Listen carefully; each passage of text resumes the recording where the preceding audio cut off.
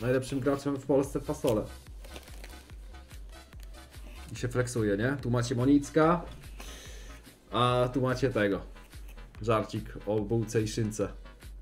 No ta, ta, widzę, widzę kosteku. Zajebiste to jest. Dobra, odłożę na bok. Lecimy dalej. Dobra, tu są jakieś